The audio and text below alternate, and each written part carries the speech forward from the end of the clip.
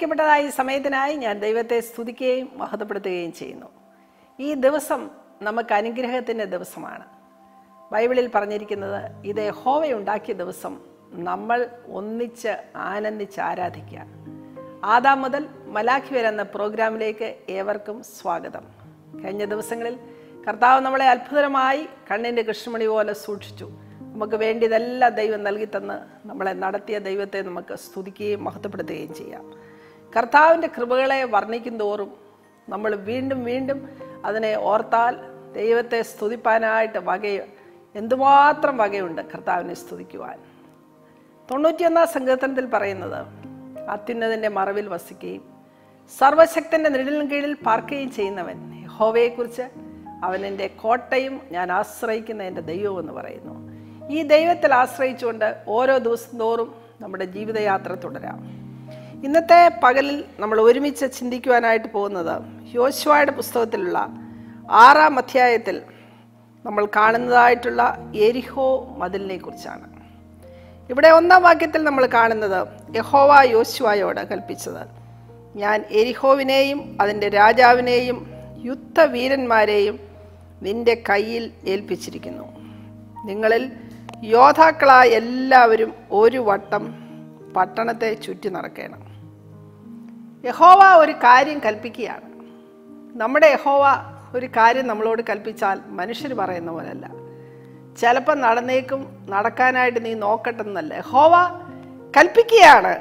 എരിഹോവിനെയും അതിന്റെ രാജാവിനെയും യുദ്ധവീരന്മാരെയും നിന്റെ കയ്യിൽ ഏൽപ്പിച്ചിരിക്കുകയാണ്. ഒന്ന് നമ്മൾ ചിന്തിച്ച് നോക്കുക ദൈവം നമ്മളോട് പറയാണ് നിനക്ക് വേണ്ടി ഞാൻ വലിയ ഒരു കാര്യം ചെയ്യാൻ പോകും ഉടനെ നമ്മുടെ മനസ്സിൽ വരുന്ന സംശയം എന്റെയും നിങ്ങളുടെയും മനസ്സിൽ വരുന്ന സംശയം ഇങ്ങനെയാണ്. അത് ഒക്കുവോ? ദൈവം അങ്ങനെയൊക്കെ പറഞ്ഞു എന്നോട് സംസാരിച്ചു. ദൈവവചനത്തിൽ കൂടി പറഞ്ഞത് നടക്കുവോ? നടക്കത്തില്ലയോ എന്നറിയണ്ട. ഒരിക്കലും നമ്മൾ ദൈവം നമ്മളോടൊരു കാര്യം പറഞ്ഞാൽ നമ്മൾ സംശയിക്കേണ്ട യാതൊരു ആവശ്യവുമില്ല ദൈവത്തിന്റെ സന്നിധിയിൽ ഏൽപ്പിച്ചു കൊടുത്താൽ മതി. ദൈവത്തിന്റെ കരങ്ങളിലേക്ക് കൊടുത്താൽ മതി. ദൈവം പറയുകയാണ് ഞാൻ ഇന്നത് നിനക്ക് വേണ്ടി ചെയ്യുമെന്ന് പറഞ്ഞാൽ തീർച്ചയായും കർത്താവ് ചെയ്യും. എന്റെയും നിങ്ങളുടെയും ജീവിതത്തിൽ അനേക അനുഭവങ്ങളുണ്ട്. നമുക്ക് എത്ര സമയങ്ങൾ എന്തെല്ലാം സാക്ഷികൾ വേണേലും പറയാനുണ്ട്. ദൈവം നമ്മളെ അത്ഭുതരമാവണം നടത്തിയ വഴികൾ. ദൈവം നമ്മളെ സഹായിച്ചതായിട്ടുള്ള കൃപകൾ എന്തുമാത്രമാണ്? ഇവിടെ പറയുകയാണ് എരിഹോവിനെ നിന്റെ മുൻപിൽ ഏൽപ്പിച്ചിരിക്കുന്നു. എന്നാൽ ജോശുവ ചെയ്യേണ്ടതായ ചില ചിട്ടകളുണ്ട്. നമുക്ക് പലപ്പോഴും ദൈവം പല കാര്യങ്ങളും നമുക്ക് വളരെ അനുഗ്രഹമായി തരുമെന്ന് പറയുമ്പോൾ ദൈവം പറയുന്ന കാര്യങ്ങൾ നമ്മൾ ചെയ്യുവാൻ സന്നദ്ധതയുള്ളവരല്ല. നമ്മൾ വീണ്ടും വീണ്ടും ഓർക്കും അതെങ്ങനെ നടക്കും? എരിഹോ മതിലോ? അതെങ്ങനെയാണ് നിന്റെ കയ്യിൽ ഏൽപ്പിക്കുന്നത്? അതെങ്ങനെയാണ് പോകുന്നത്? നമ്മുടെ ബുദ്ധിക്കനുസരിച്ച് ഒത്തിരി കാര്യങ്ങൾ ചിന്തിക്കും. നമ്മുടെ ബുദ്ധിക്ക് അനുസരണമായിട്ടുള്ള ഒരുപാട് കാര്യങ്ങൾ ദൈവത്തിന്റെ മുമ്പിൽ നമ്മൾ ചെയ്യേണ്ടതും ചിന്തിക്കേണ്ടതും ആവശ്യമില്ല. കാരണം ദൈവം സർവശക്തനാണ്. അവന്റെ മഹത്വം വേറെ ആർക്കും വിട്ടുകൊടുക്കത്തില്ല. അതുകൊണ്ട് ഇവിടെ താഴെ കാണുന്നത് എന്താണ് പറയുന്നതായ അവന്റെ കണ്ടീഷൻ ഒരു വട്ടം പട്ടണത്തെ ചുറ്റി നടക്കണം ഇങ്ങനെ ആറ് ദിവസം ചെയ്യണം. ഏഴ് പുരോഹിതന്മാർ ആട്ടിൻ കൊമ്പ് കൊണ്ടുള്ള ഏഴ് കാഹളം പിടിച്ചുകൊണ്ട് പെട്ടകത്തിന്റെ മുൻപിൽ നടക്കണം. ഏഴാം ദിവസം ഏഴ് പ്രാവശ്യം പട്ടണത്തെ ചുറ്റുകയും പുരോഹിതന്മാർ കാഹളം ഊതുകയും വേണം. നമ്മൾ വല്ലവരും ആയിരുന്നെങ്കിൽ ജോശുവയുടെ സ്ഥാനത്തായിരുന്നേ ഓർത്തേനെ. ദൈവം എന്തോ ആണ് ഈ പറയുന്നത്? ഇത്രയും വലിയ എരിഹോവിനെ ഏൽപ്പിക്കാൻ പോകുന്നത് വെറും ഏഴ് പ്രാവശ്യം അതിലെ ചുറ്റി നടന്നുകൊണ്ടാണ്. അതും അതിനും കണ്ടീഷനുണ്ട് ഒരു ദിവസം ഒരു പ്രാവശ്യമേ ചുറ്റി നടക്കാവൂ. അതെങ്ങനെ ആര് മുമ്പേ പോകണം ആര് പുറകെ വരണം അതിനെല്ലാം കണ്ടീഷൻസ് ഉണ്ട്. പലപ്പോഴും നമ്മുടെ ജീവിതത്തിന് മേൽ ദൈവം പറയുന്നത് അതുപോലെ അനുസരിച്ചാൽ നമ്മുടെ ജീവിതത്തിൽ ആത്മീയ വിജയം ഭൗമികമായ വിജയം ദൈവത്തിന്റെ കൃപ ഇത് നമ്മുടെ ജീവിതത്തിന് മേൽ പകരും. ഞാനിത് ഓരോ പ്രാവശ്യം വായിക്കുമ്പോൾ ഓർക്കും. ജോഷുവ എന്തെല്ലാം ദൈവം പറഞ്ഞ ആ കാര്യം ആ എരിഹോ പട്ടണത്തോടുള്ള ബന്ധത്തിൽ വളരെ വളരെ ഫൂളിഷ്നെസ് എന്ന് സാധാരണ മനുഷ്യന് തോന്നിയാലും ജോഷുവ അതുപോലെ അത് കേട്ടതുകൊണ്ട് വലിയ അത്ഭുതമാണ് ദൈവം പ്രവർത്തിച്ചത്. ദൈവത്തിന് പ്രവർത്തിപ്പാൻ ഒരു കൊച്ചു കാര്യം കൊച്ചൊരു കാര്യത്തെ കൊണ്ടുകൊള്ളും ദൈവത്തിന് ഉപയോഗിക്കാനായിട്ട് സാധിക്കും. ചെറിയ കുഞ്ഞുങ്ങളിൽ കൂടി ദൈവം അത്ഭുതം പ്രവർത്തിക്കും. ചെറിയ ചെറിയ കാര്യങ്ങളിൽ നിന്നും നിസ്സാരമെന്നും നമ്മൾ വിചാരിക്കുന്നതിൽ കൂടി കർത്താവ് അത്ഭുതം പ്രവർത്തിക്കും. എത്ര എത്ര സാക്ഷ്യങ്ങളാണ്. എത്രയെത്ര കാര്യങ്ങളാണ് നമ്മൾ കേൾക്കുന്നത്. ഞാൻ ഒട്ടും പ്രതീക്ഷിച്ചില്ല സിസ്റ്ററെ അങ്ങനെ വരുമെന്ന്. എന്നാൽ ദൈവം നിനക്ക് മുൻപായിട്ട് ഇറങ്ങി. ദൈവം നിനക്ക് മുൻപായി നടന്നു കഴിഞ്ഞാൽ നിനക്കൊന്നും ഭാരപ്പെടേണ്ട ആവശ്യമില്ല. എരിഹോമതിലിനെ എങ്ങനെയാക്കി എന്നുള്ള കാര്യം നമുക്ക് ചിന്തിക്കാം. അഞ്ചാമത്തെ വാക്യത്തിൽ നമ്മൾ കാണുന്നത് അവൻ ആട്ടിൻകൊമ്പ് നീട്ടി ഊതുകയും നിങ്ങൾ കാഹളനാദം കേൾക്കുകയും ചെയ്യുമ്പോൾ ജനമൊക്കെയും ഉച്ചത്തിൽ ആർപ്പിടണം. അവിടെ ചില കണ്ടീഷൻസ് ഉണ്ട്. അപ്പോൾ പട്ടണത്തിന്റെ മതിൽ വീഴും. ജനം ഓരോരുത്തരുടെ നേരെ കയറുകയും വേണം. നൂന്റെ മാന യേശുവ പുരോഹിതന്മാരെ വിളിച്ച് അവരോട് നിയമപ്പട്ടകം എടുപ്പീൻ. ഏഴ് പുരോഹിതന്മാർ യഹോവയുടെ പട്ടകത്തിന്റെ മുൻപിൽ ആട്ടിൻ കൊമ്പ് കൊണ്ടുള്ള ഏഴ് കാഹളം പിടിച്ചുകൊണ്ട് നടക്കണമെന്ന് പറഞ്ഞു. ഏഴ് കാഹളം പിടിച്ചുകൊണ്ട് പുരോഹിതന്മാർ ആദ്യം നടക്കണം. അതിനുശേഷമായിട്ട് ജനത്തോട് അവൻ നിങ്ങൾ ചെന്ന് പട്ടണത്തെ ചുറ്റി നടപ്പീൻ. ആയുധപാണികൾ യഹോവയുടെ പെട്ടകത്തിന്റെ മുൻപിൽ നടക്കണം എന്ന് പറഞ്ഞു. ജോശുവ ജനത്തോട് പറഞ്ഞു തീർന്നപ്പോൾ ആട്ടിൻ കൊണ്ടുള്ള ഏഴ് കാഹളം പിടിച്ചുകൊണ്ട് ഏഴ് പുരോഹിതന്മാർ യഹോവയുടെ മുൻപിൽ നടന്നു. കാഹളമൂതി യഹോവയുടെ നിയമപ്പെട്ടകം അവരുടെ പിന്നാലെ ചെന്നു. യഹോവയുടെ നിയമപ്പെട്ടവും പോയി പുരോഹിതന്മാർ പോയി. അതിനുശേഷം അവരുടെ ആയുധപാണികൾ കാഹളം ഊതുന്ന പുരോഹിതന്മാരുടെ മുൻപിൽ നടന്നു. ശേഷമുള്ള കൂട്ടം പെട്ടകത്തിന്റെ പിന്നാലെ ചെന്ന് ഇങ്ങനെ അവർ കാഹള ഊതിക്കൊണ്ട് നടന്നു. അങ്ങനെ അവർ കാഹള ഊതിക്കൊണ്ട് നമുക്കിഷ്ടം പോലെ ചെയ്യാനല്ല കാഹളം കയ്യിൽ ഇരിപ്പുണ്ട്. ഇഷ്ടം പോലെ അങ്ങ് ഊതിക്കോളാം എന്നുള്ളതല്ല പറഞ്ഞിരിക്കുന്ന അതേ കണ്ടീഷൻ പറഞ്ഞിരിക്കുന്ന ആ നിയമത്തിനനുസരിച്ച് ആ ഡിസിപ്ലിൻ അനുസരിച്ച് മുമ്പോട്ട് മുമ്പോട്ട് പോവുകയാണ്. മുഴുവൻ സമയവും അതിന്റെ ശേഷം ആർപ്പിടണമെന്ന് പറഞ്ഞു. അങ്ങനെ യഹോവയുടെ പട്ട ഒരു പ്രാവശ്യം പട്ടണത്തെ ചുറ്റി നടന്നു. പിന്നെ അവർ പാളയത്തിൽ വന്ന് പാളയത്തിൽ പാർത്തു. നമ്മളെല്ലാവരും ആണെങ്കിൽ ഓർക്കും ഈ ഒരു പ്രാവശ്യം മാത്രം ഈ പട്ടണത്തെ ചുറ്റി ഇങ്ങനെ നടന്നിട്ട് എന്നാ കിട്ടാനാ? ഇങ്ങനെ നമ്മൾ ഒത്തിരി കാര്യം ആലോചിക്കും. എന്നാൽ അത് യോശുവായോടെ ഹോവ കൽപ്പിച്ചത്. അത്രയും പേര് ആദ്യത്തെ ദിവസം ഒരു പ്രാവശ്യം. രണ്ടാമത്തെ ദിവസം ഒരു പ്രാവശ്യം. അങ്ങനെ എത്ര ദിവസം അവർ നടന്നു? അങ്ങനെ രണ്ടാം ദിവസവും അവർ പട്ടണത്തെ ഒരു പ്രാവശ്യം ചുറ്റിയിട്ട് പാളയത്തിലേക്ക് മടങ്ങി വന്നു. ഒന്നും മറുചോദ്യം ചോദിക്കുവാനായിട്ടോ മറുകാര്യം പറഞ്ഞതിനപ്പുറമായിട്ടോ ചെയ്തിട്ടില്ല. നമുക്കുള്ളതായ ഒരു ദോഷം. കർത്താവ് എന്തെങ്കിലും നമ്മളോട് കൽപ്പിച്ചാൽ അത് അതിന്റെ അപ്പുറമായിട്ട് നമ്മൾ നമ്മുടെ ബുദ്ധി ചിന്തിക്കും. ഇങ്ങനെ ചെയ്താൽ അത് നടക്കുന്ന കാര്യമേ ഇല്ല ബ്രദറെ. നടക്കുന്ന കാര്യമേ ഇല്ല സിസ്റ്റർ. അത് എങ്ങനെ സംഭവിക്കാനാണ്? എന്നാൽ നീയൊന്നും ഭാരപ്പെടണ്ട. എന്റെ സർവശക്തനായ ദൈവം ഈ ഭൂലോകത്തെ മുഴുവനും സൃഷ്ടിച്ചവനായ കർത്താവിന്റെ സന്നിധിയിൽ ഒന്നും അസാധ്യമായിട്ടുള്ളതില്ല. ആ ദൈവത്തിൽ അങ്ങ് ഏൽപ്പിച്ചാൽ മതി. അങ്ങനെ ഏഴാം ദിവസമോ അവർ അധികാലത്ത് അരുണോദയത്തെങ്കിൽ എഴുന്നേറ്റ് പട്ടണത്തെ ആ വിധത്തിൽ തന്നെ ഏഴ് പ്രാവശ്യം ചുറ്റി. അന്ന് മാത്രം അവർ പട്ടണത്തെ ഏഴ് പ്രാവശ്യം ചുറ്റി. ഏഴാം പ്രാവശ്യം പുരോഹിതന്മാർ കാഹളം ഊതിയപ്പോൾ ജോശുവ ജനത്തോട് പറഞ്ഞത് എന്തെന്നാൽ ആർപ്പിടുവി അതുവരെ അവർ ആർപ്പിട്ടില്ല. അവരാറ് ദിവസവും ഓരോരോ പ്രാവശ്യം ചുറ്റിക്കഴിഞ്ഞിട്ട് വന്നു. പറഞ്ഞതുപോലെ തന്നെ യഹോവ പട്ടണം നിങ്ങൾക്ക് തന്നിരിക്കുന്നു. ഈ പട്ടണവും അതിലുള്ളതൊക്കെയും യഹോവയ്ക്ക് ശബദാർപ്പിതമായിരിക്കുന്നു ഇരുപതാമത്തെ വാക്യത്തിൽ നമ്മൾ കാണുന്നത് അനന്തരം ജനം ആർപ്പിടുകയും പുരോഹിതന്മാർ കാഹള ഊതുകയും ചെയ്തു. ജനം കാഹളനാദം കേട്ട് അത്യുച്ഛത്തിൽ ആർപ്പിട്ടപ്പോൾ മതിൽ വീണു.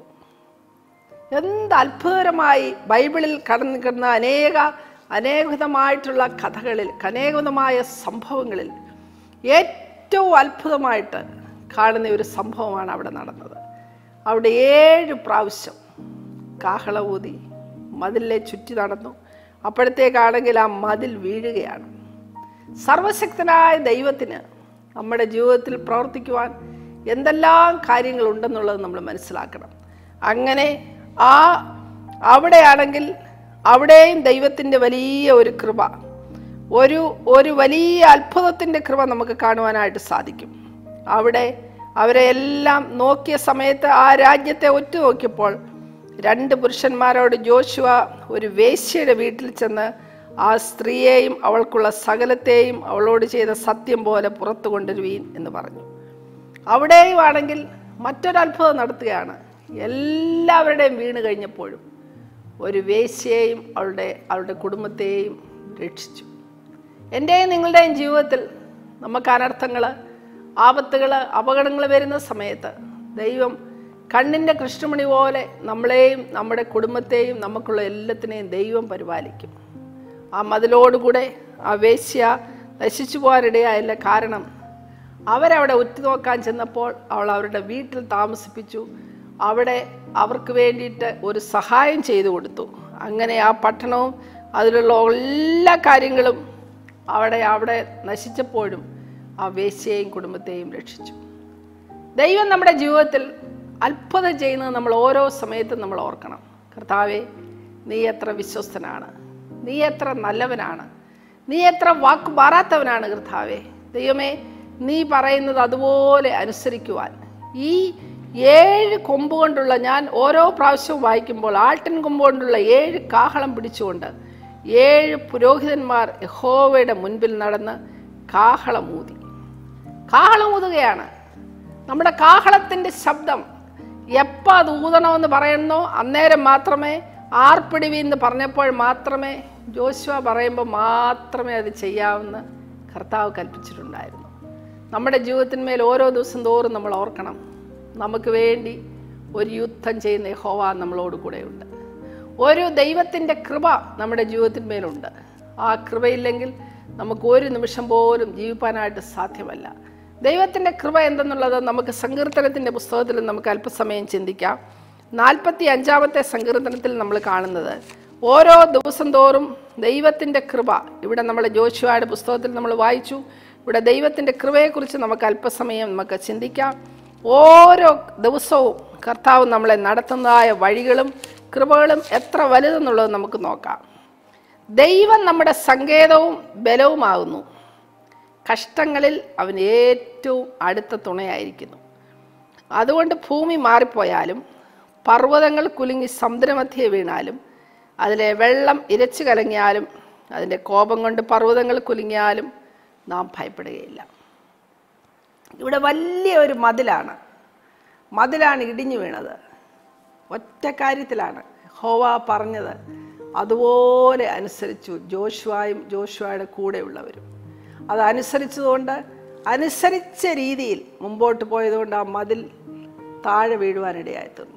മാനുഷ്യ ദൃഷ്ടിയിൽ ഒരിക്കലും എനിക്കോ നിങ്ങൾക്കോ ചിന്തിപ്പാൻ കഴിയാൻ വയ്യാത്ത ഒരു ഒരു വലിയ എരിഹോ മുതൽ വീഴാൻ ഇത്രയും ചെറിയ നിസ്സാരമായ കാര്യമാണോ കർത്താവ് പറഞ്ഞതെന്നുള്ളത് ഞാൻ പലപ്പോഴും വായിച്ചപ്പോൾ ഓർക്കാറുണ്ട്. എന്നാൽ ദൈവത്തിന് അനേക പദ്ധതികളുണ്ട്. അതുകൊണ്ടാണ് സങ്കീർത്തനത്തിൽ പറഞ്ഞിരിക്കുന്നത് യഹോവ നമ്മുടെ സങ്കേതമാണ്. നമ്മുടെ ബലമാണ്.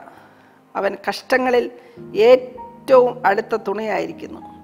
അതുകൊണ്ടാണ് ഭൂമി മാറിപ്പോയാലും പർവതങ്ങൾ കുലുങ്ങി സമുദ്രമധ്യേ വീണാലും അതിലെ വെള്ളം ഇരച്ചു കലങ്ങിയാലും അതിന്റെ കോപം കൊണ്ട് പർവതങ്ങൾ കുലുങ്ങിയാലും നാം ഭയപ്പെടുകയില്ല.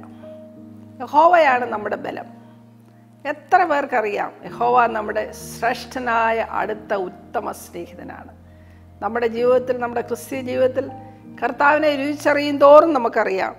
അതുകൊണ്ട് ഭൂമി മാറിപ്പോയാലും പർവതങ്ങൾ കുലുങ്ങി. നിങ്ങൾക്ക് ഓർക്കാവോ? പർവതങ്ങൾ കുലുങ്ങി. സമുദ്രത്തിന്റെ മധ്യേ വീണാലും അതിലെ വെള്ളം ഇരച്ചു കലങ്ങിയാലും ഞാൻ ഭയപ്പെടുകയില്ല. ഒരു നദിയുണ്ട്. അതിന്റെ തോടുകൾ ദൈവനഗരത്തെ അത്യുന്നതന്റെ വിശുദ്ധ വാസത്തെ തന്നെ സന്തോഷിപ്പിക്കുന്നു. ഇവിടെയുള്ളതായ എരിഹോമതിൽ മുതൽ വീണതുപോലെ. നമ്മുടെ ജീവിതത്തിൽ ഒരു നദിയുണ്ട്. അത് അത്യുന്നതനായ ദൈവത്തിന്റെ വിശുദ്ധ നിവാസത്തെ തന്നെ സന്തോഷിപ്പിക്കുന്നു. ഇവിടെ താഴോട്ടുള്ള വാക്യത്തിൽ നമ്മൾ കാണുന്നത് ദൈവം അതിന്റെ മധ്യമുണ്ട് അത് കുലുങ്ങിപ്പോകുകയില്ല ദൈവം അധികാലത്ത് തന്നെ അതിനെ സഹായിക്കും. ഈ അഞ്ച് വാക്യത്തിൽ നമ്മൾ കാണുന്നത് എരിഹോ മതിൽ ഉണ്ടായിട്ടുള്ളതായ വലിയ വലിയ വിജയം പോലെ തന്നെ. ഇവിടെ കാണുന്നത് ഹോവ ദൈവം അതിന്റെ മധ്യയുണ്ട് അത് കുലുങ്ങിപ്പോകുകയില്ല ദൈവം അധികാലത്ത് തന്നെ അതിനെ സഹായിക്കും. ദൈവം അധികാലത്ത് തന്നെ അതിനെ സഹായിക്കും. ഒരിക്കലും നമ്മൾ ഭയപ്പെടേണ്ട എന്ന് സങ്കീർത്തനത്തിന്റെതായ ഈ അഞ്ച് വാക്യത്തിൽ കൂടി ദൈവത്തിന്റെ ആത്മാവ് നമ്മളോട് സംസാരിക്കുകയാണ്. മറ്റേ ഒരു കാര്യമാണ് ഹോവയെ സ്തുതിച്ചതായിട്ടുള്ളതായ പല അനുഭവങ്ങളിലും നമ്മുടെ ജീവിതത്തിന്മേൽ നമുക്ക് മനസ്സിലാക്കിയിട്ടുണ്ട്. കർത്താവിന്റെ നന്മകളെക്കുറിച്ച് നമ്മൾ ചിന്തിക്കുന്നതായിട്ടുള്ള അനേക വാക്യങ്ങളിലൊന്നാണ് മുപ്പത്തിനാലാം സങ്കീർത്തനത്തിന്റെ ഒന്നാം വാക്യം മുതൽ നാല് വരെയുള്ള വാക്യത്തിൽ ഞാൻ ഹോവയെ എല്ലാ കാലത്തും വാഴ്ത്തും. അവന്റെ സ്തുതി എപ്പോഴും എന്റെ നാവിന്മേലിരിക്കും. അതുകൊണ്ട് എന്റെ ഉള്ള മെഹോവയിൽ പ്രശംസിക്കുന്നു എളിയവൻ അത് കേട്ട് സന്തോഷിക്കും. എന്നോട് ചേർന്ന് യഹോവയെ മഹിമപ്പെടുത്തുവീൻ. നാം ഒന്നിച്ച് അവന്റെ നാമത്തെ ഉയർത്തുക. നാം ഒന്നിച്ച് അവന്റെ നാമത്തെ ഉയർത്തുക. അതാണ് എനിക്ക് പറയാനുള്ളത്. എരിഹോ മുതൽ വീഴുവാനുള്ളതായ സമയത്ത് അവർ ഒന്നിച്ചാണ് ഒന്നിച്ചു പോവുകയാണ്. ജോഷുവ വിളിച്ചതായിട്ടുള്ള സമയത്ത് അവർ ഒന്നിച്ച് പല പല പടിയായിട്ട് നമ്മൾ പുറകോട്ട് നോക്കുന്നതായ സമയത്ത് നമുക്ക് കാണുവാനായിട്ട് സാധിക്കും. ഏഴ് കാഹളം പിടിച്ചുകൊണ്ട് നടക്കണം.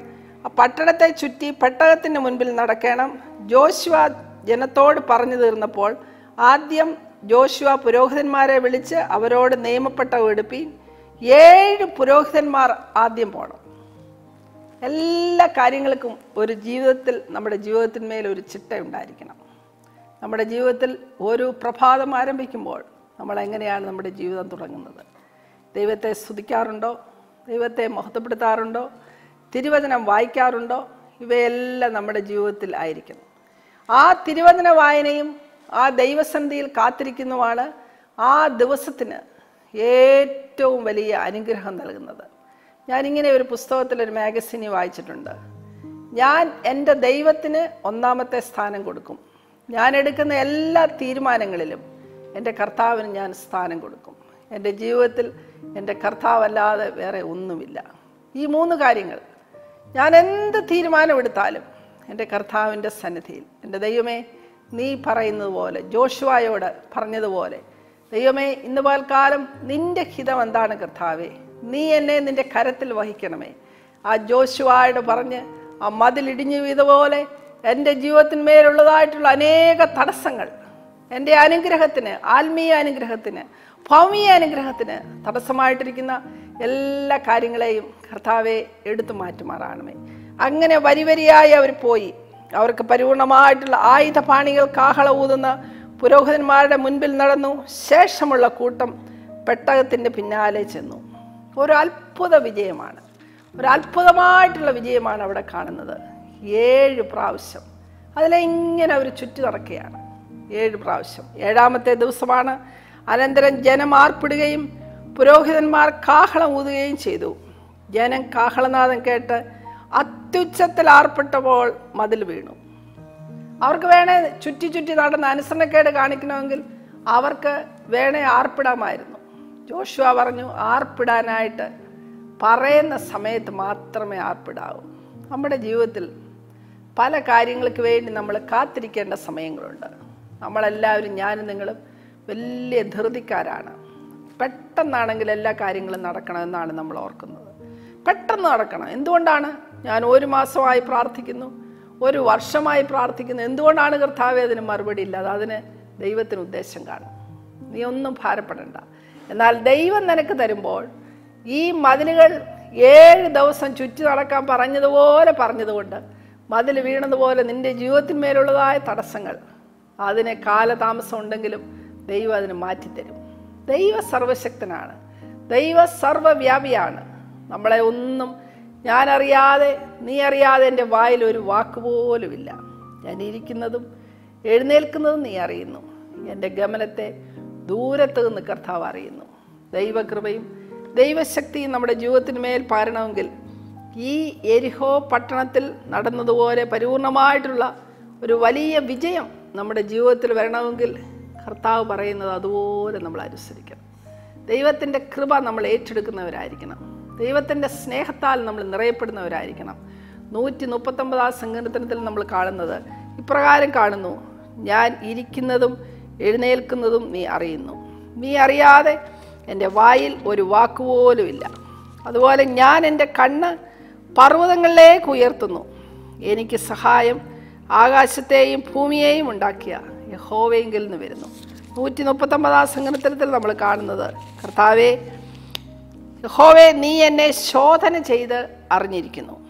ഞാൻ ഇരിക്കുന്നതും എഴുന്നേൽക്കുന്നതും നീ അറിയുന്നു. എന്റെ നിരൂപണം നീ ദൂരത്ത് നിന്ന് ഗ്രഹിക്കുന്നു. എന്റെ നടപ്പും കിടപ്പും നീ ശോധന ചെയ്യുന്നു. എന്റെ വഴികളൊക്കെയും നിനക്ക് മനസ്സിലായിരിക്കുന്നു. പ്രിയപ്പെട്ടവരെ നമ്മുടെ കർത്താവ് അറിയാത്ത ഒരു വഴി നമ്മുടെ ജീവിതത്തിലില്ല. എല്ലാം നമ്മളെ നോക്കുന്ന ഒരു കർത്താവ്. രണ്ട് കണ്ണുകളുണ്ട്. നമ്മൾ എന്ത് ചെയ്താലും അന്തർഭാഗത്തിലെ സത്യമല്ലോ നീ ഗ്രഹിക്കുന്നത് എന്നാണ് ദൈവവചനത്തിൽ കാണുന്നത്. യഹോവേ നീ എന്നെ ശോധന ചെയ്ത് അറിഞ്ഞിരിക്കുന്നു.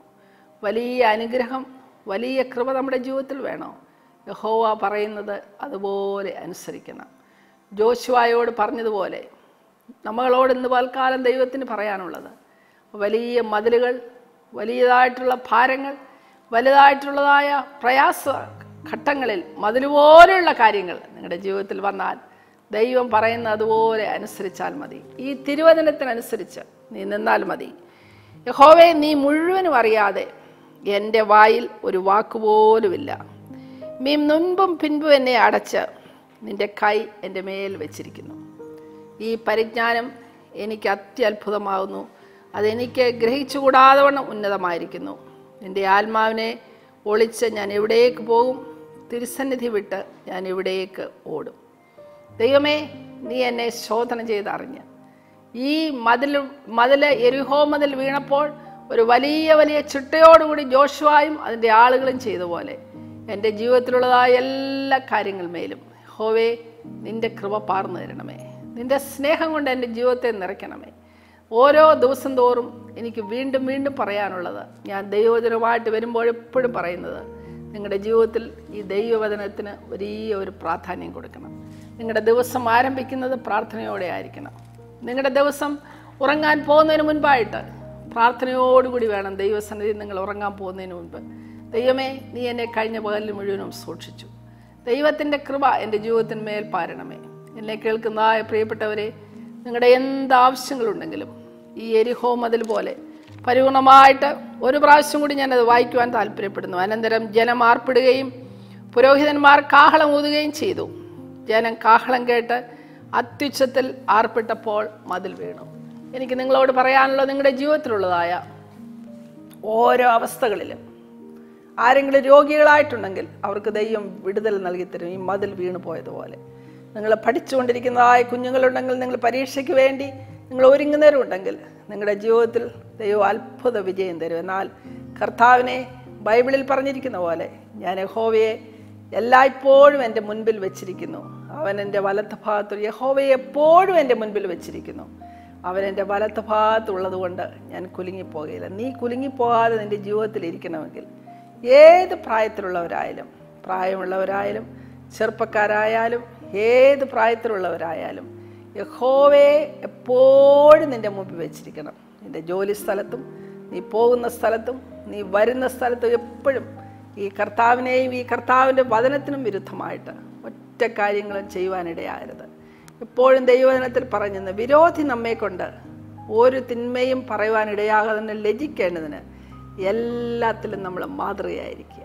നമ്മുടെ ജീവിതത്തിന്മേൽ ഏത് പ്രായത്തിലുള്ളവരായാലും യഹോവേ നിന്റെ സ്നേഹം കൊണ്ട് എന്റെ ജീവിതത്തെ നിറയ്ക്കണമേ. ദൈവകൃപ എന്റെ ജീവിതത്തിൽ പാനമേ നിനക്ക് വേണ്ടി വിശുദ്ധിയോടും വേർപാടോടും കൂടി ഈ രണ്ടായിരത്തി പത്തൊമ്പത് മാർച്ച് മാസത്തിൽ എനിക്ക് ജീവിപ്പാൻ സഹായിക്കണമേ. എന്നെയും എന്റെ കുടുംബത്തെയും കർത്താവിന്റെ സന്നിധിയിൽ സമർപ്പിക്കുന്നു.